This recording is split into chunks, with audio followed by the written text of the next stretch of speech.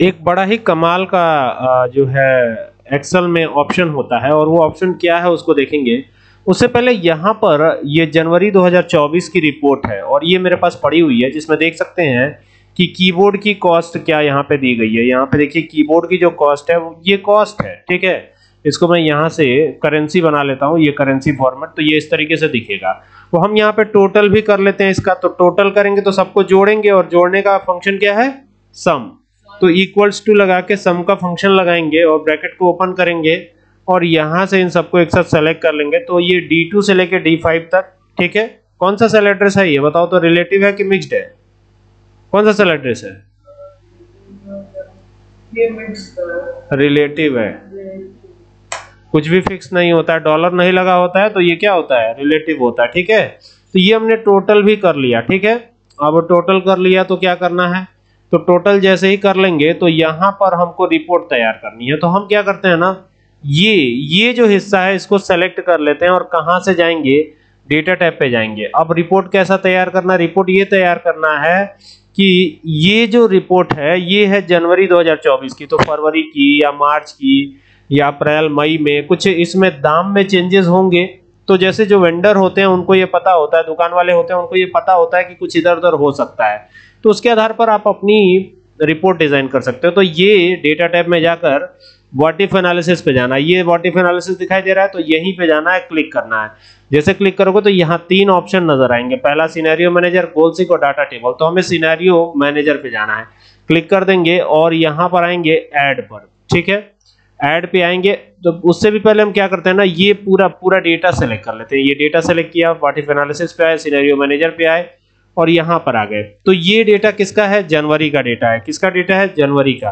तो ये हो गया जनवरी और यहाँ पर एंटर कर दीजिएगा। तो ये जनवरी का डेटा आपको दिख रहा है, ठीक है? फिर यहाँ पर ऐड करवाएँगे। तो ऐड करवाएँगे तो वो तो जनवरी का डेटा था।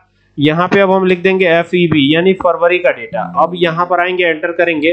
तो यहाँ पर फरवरी में कुछ चेंजेस होंगे। जैसे कीबोर्ड लगता है कि कुछ सस्ता हो जाएगा, ऐसा ऐसा हो सकता है, ऐसा अनुमान के तौर पे बोला जाता है। ठीक है? तो ये, और माउस भी कुछ सस्ता होगा तो माउस 170 का पड़ेगा, जो 200 का पड़ रहा था। बाकी मान लीजिए मॉनिटर है, और ये है तो जैसे सीपीयू भी कुछ सस्ता होगा मॉनिटर की कीमत वही रहने देते हैं, और सीपीयू को यहाँ पे चेंज करते हैं लाइक 9000 कर देते हैं 9000 ठीक है? और इसको भी ऐड कर देते हैं। तो ये हो गया, दो चीज़ें ऐड हो गई, ठीक है? अब तीसरी चीज़ क्या है? तो यहाँ पे मार्च है तो एम ए आर करते हैं, और एंटर कर देते हैं। और यहाँ पे एंटर करके इस तरीके से कर देते हैं। तो अभी देखिए यहाँ पे कीबोर्ड दिया हुआ है 300 ठीक है? तो फिर और सस्ता होगा। ये ये हो जाएगा 250 का। ठीक है? और माउस भी और सस्ता होगा। ये बन जाएगा कितने का? 150 का। ठीक है? और मॉनिटर भी सस्ता होगा। तो ये मॉनिटर भी यहाँ पे चेंज हो, कीमत चेंज होगी। तो यहाँ पे ये बन जाएगा पाँच हज़ार का। कितने का? पाँच हज़ार। ठीक है? और फिर यहाँ पर जब नीचे आएँगे तो यहाँ पे ये देखिए सीपीयू है तो सीपीयू को सेम रहने देते हैं और इसको भी ऐड करा देते हैं, ठीक है? अब अप्रैल की बात करेंगे तो एपीआर लिखा हमने और एंटर किया और एंटर करने के बाद यहाँ पे एंटर किया तो ये इस तरीके से आया। तो अभी कीबोर्ड हो गया ये तो कीबोर्ड अब इस बार कुछ महँगा होगा। तो ठीक है तो यहाँ 400 कर देते हैं और माउस की कीमत यही रखते हैं। फिर नीचे आते हैं तो मॉनिटर की कीमत भी यही रखते हैं और सीपीयू की भी यही रखते हैं। तो इस तरीके से अब ये जो है डिटेल हमारे पास तैयार हो जाएगी। अब फिर अगले महीने की बात आएगी तो अब अप्रैल की बात आएगी। तो ये मई की बात हो जाएगी, मई एम ए वाई तो एम ए वाई कर देते हैं यहाँ मई। अब यहाँ से ओके करिए और यहाँ से ओके करिए। और फिर अब मई में मान लीजिए यही सिनेरियो रहेगा तो ओके कर देंगे। ओके करने पर आपको सभी रिपोर्ट्स दिखाई देंगी, जनवरी, फरवरी, मार्च, अप्रैल, मई। ठीक है? ये देखिए, जनवरी वाली है, ये फरवरी, मार्च, अप्रैल, मई। लेकिन इसका समरी कैसे दिखेगा? तो ये समरी ऑप्शन दिया गया तो इस पर क्लिक करिएगा और आपको ये वाला, यानी टोटल वाला सेलेक्ट रखना है, ठीक है?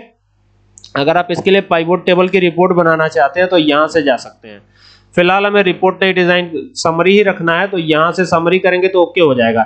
लेकिन अगर आप पाइवोट बनाना चाहते हैं तो यहाँ से ओके करेंगे तो ये पाइवोट बन भी जाएगा। देख सकते हैं ये पाइवोट यहाँ पे क्रिएट हो रहा है, लेकिन फ़िलहाल तो हमें समरी ही क्रिएट करनी है। तो समरी क्रिएट करने के लिए इस पर क्लिक करके और फिर आपको वही चीज़ की यहाँ से जाकर के और यहाँ पर समरी पे क्लिक कर देना है। और ये ध्यान रखिएगा कि ये लास्ट वाला सेल सेलेक्टेड रहे। हमेशा आपको क्या देखना है कि ये लास्ट वाला ही सेलेक्टेड रहना चाहिए, ये वाला, ठीक है? तो ये देखिए D6 आ भी रहा है तो यहाँ से ओके कर दीजिएगा। जब ओके कीजिएगा तो ये रिपोर्ट अपने आप तैयार होके आपको मिल जाएगी। देखिए, यहाँ पर रिपोर्ट भी जनरेट हो गई है पूरी। जनवरी की अलग रिपोर्ट है, फरवरी की अलग रिपोर्ट है, मार्च की अलग रिपोर्ट है, अप्रैल की अलग रिपोर्ट है और मई की अलग रिपोर्ट है। यहाँ पे प्लस का निशान बना हुआ है। इसे, इस तरीके से करेंगे तो दिखाई भी देगा कि किसने बनाया है। तो बाय डिफ़ॉल्ट मेरा ही नाम यहाँ पे आ रहा है और इस तरीके से चाहे तो आप कर सकते हैं। और इस तो सिंगल पर्सन का अगर निकालना चाहते हो तो जैसे मान लो रोल नंबर वन है तो मैं एक ही लेता हूँ यहाँ पे। इसमें हमें नंबर देना है और सिंगल पर्सन का परसेंटेज और टोटल कैलकुलेट करना है बहुत आसान है। जैसे तुम्हारा ही नाम लिख देते हैं यहाँ प्रियांशु लिख देते हैं, ठीक है? तो ये हो गया प्रियांशु और ऊपर सब्जेक्ट के नाम दिए ही गए हैं, देख ही रहे हो, ठीक है? सिनेरियो मैनेजर समझ में आया ना? अब ये देखो, यहाँ पे आए 45 हो गया 56 हो गया, यहाँ पे अलग अलग मार्क्स दे रहे हैं 77 हो गया, यहाँ 88 हो गया और ये यहाँ पे आके 99 कर देते हैं। तो ये पाँच सब्जेक्ट के मार्क्स आपके पास आ गए। अब इनको टोटल करना है, जोड़ना है तो आप एक एक करके जोड़ सकते हैं, यानी कि आप ऐसा काम कर सकते हैं कि इक्वल टू का जब भी जोड़ेंगे घटाएँगे एक्सेल में कोई भी काम करेंगे तो इक्वल टू लगा के ही करेंगे ठीक है? अब मान लो एक एक करके करोगे तो इसका सेल एड्रेस क्या है? 45 का देखो। 45 का सेल एड्रेस सी है। सी का सेकंड C2 है यानी C2 तो अगर C2 लिखो फिर प्लस का निशान लगाओ फिर इसका क्या है? डी टू है। D2 है। फिर इसका क्या है? ई टू है। E2 है। फिर इसका क्या है? टू है। फिर इसका क्या है? जी टू है। G2 है। यानी G2 तक हम आ गए। अब हमको यहाँ पर जोड़ना है तो जोड़ने वाले का तो सेल एड्रेस रहेगा नहीं। छोटे लेटर बड़े लेटर दोनों में ही आप इसको लिख सकते हैं। कोई दिक्कत नहीं। एंटर करेंगे। 365 आ रहा है। लेकिन यही चीज़ आप मैनुअली ना करके फॉर्मूला ना लगा करके एक फ़ंक्शन है। सम का। इज़ इक्वल टू सम लिखिए। और सम लिख करके ब्रैकेट को ओपन कीजिए और यहाँ से यहाँ तक जब सेलेक्ट कीजिएगा तो यहाँ पे जानते हैं क्या आएगा? C2 कॉलन G2 माने C2 से लेके G2 तक जो भी वैल्यूज़ है उनको जोड़ दीजिए। ठीक है? तो अब जो है बंद करके एंटर करेंगे, तब भी तीन सौ पैंसठ आएगा। अब हमको परसेंटेज इनका निकालना है। तो परसेंटेज देखिए एवरेज अगर आप निकालते हैं तो वही सेम आपका परसेंटेज होता है। लेकिन मैनुअली फॉर्मूले की मदद से कैसे निकालेंगे? तो इक्वल टू का साइन लगाएँगे। टोटल को सेलेक्ट करेंगे। ये टोटल है ना कितना मार्क्स आया है? 365 कितने सब्जेक्ट में आया बेटा? पाँच सब्जेक्ट में। तो 365 कहाँ पर है ये? H2 सेल एड्रेस क्या है इसका? H2 और H2 किस प्रकार का सेल एड्रेस है? रिलेटिव टाइप का। और इसको मल्टीप्लाई कर दो। क्योंकि परसेंटेज जब भी निकलेगा तो किस पे निकलेगा? 100 पे। तो इसको 100 से मल्टीप्लाई कर दिया हमने और डिवाइड किससे कर देंगे?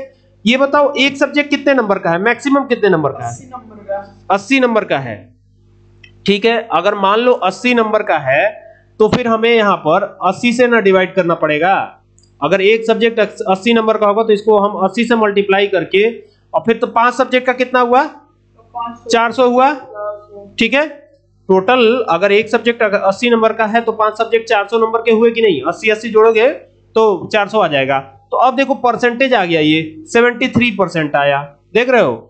हाँ। अब अगर मान लो किसी सब्जेक्ट में नंबर बढ़ा हो जैसे मान लो यहाँ पैंतालीस ये कम हो गया था यहाँ पे 75 होना था। तो परसेंटेज और टोटल अपने आप चेंज हो जाएगा। सेल एड्रेस का यही फ़ायदा। है देखो चेंज हो गया? तो सेल एड्रेस का यही फ़ायदा है। समझ में आई कि नहीं बात? ये सेल एड्रेस का एडवांटेज है। समझ में आया? क्या बताया ये देखो यहाँ पे मैं इसे एडिट कर देता हूँ। एडिट करने की शॉर्टकट की होती है F2 ठीक है? अब ये जो है H2 में तुम्हारा टोटल है। ये टोटल है तुम्हारा। ठीक है? टोटल को मल्टीप्लाई करना है टोटल मार्क्स से। यानी कुल मिलाकर मैक्सिमम मार्क्स कितने हुए? पाँचों सब्जेक्ट को मिला के उससे जो है, एक सब्जेक्ट का मैक्सिमम मार्क्स कितना है, उससे मल्टीप्लाई करेंगे। तो एक सब्जेक्ट में मैक्सिमम मार्क्स अगर पाओगे तो 80 नंबर पाओगे 80 और उसको टोटल से, यानी पाँच सब्जेक्ट हैं तो 80 80 नंबर जोड़ोगे पाँच सब्जेक्ट का तो कितना आएगा? 400 आएगा 400 तो 400 से इसे डिवाइड कर दोगे। टोटल मार्क्स से डिवाइड कर दोगे। देखो, एक तो जितना मार्क्स पाए हो सबको मिला करके उसको डिवाइड किससे मल्टीप्लाई किससे करना है? एक सब्जेक्ट के मार्क्स से मल्टीप्लाई करना, यानी 80 से मल्टीप्लाई कर दिया। अगर 100 होता तो 100 से कर देते, ठीक है? अब टोटल कितना होगा? तो देखो जरा, एक सब्जेक्ट 80 मार्क्स का है, ठीक है? एक सब्जेक्ट अगर 80 मार्क्स का है तो पाँच सब्जेक्ट कितने मार्क्स के होंगे? यहाँ 80 को 5 से मल्टीप्लाई कर दो। कितने हुए? 400 हुए। तो हमने इसे 400 से डिवाइड कर दिया है। देखो यहाँ पे डिवाइड किया है। डिवाइड किया है ना? तो इसी से आपका परसेंटेज आ गया है। ठीक है? क्लियर ठीक है।